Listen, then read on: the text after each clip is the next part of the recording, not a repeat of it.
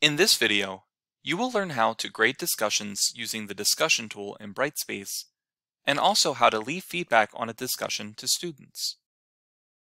Students' discussions can be graded in a variety of areas within Brightspace, including the Quick Eval tool and the Enter Grades tab in the Gradebook. However, you can also grade directly from the discussion tool as well. To begin grading from the discussion tool, please follow these steps. Select Discussions from the navbar.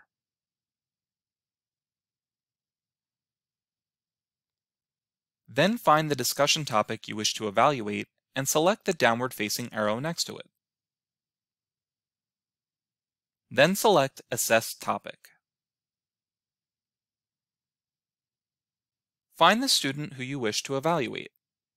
Under their name, click the link that says Topic Score.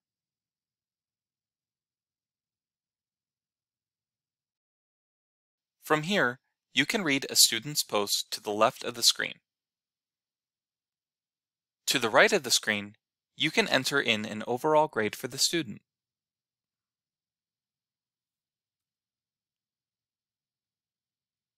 You can also type out overall feedback to the student as well.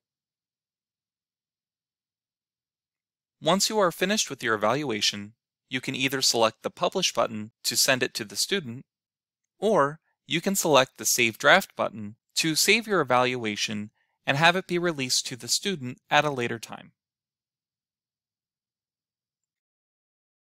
You can also scroll through different submissions by each of your students in the top right of your screen by selecting the arrows to go backwards and forwards between submissions.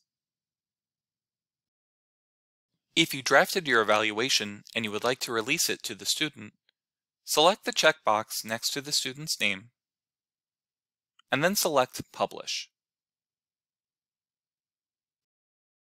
Thank you for watching. For more information on grading within Brightspace, please check out the link in the description.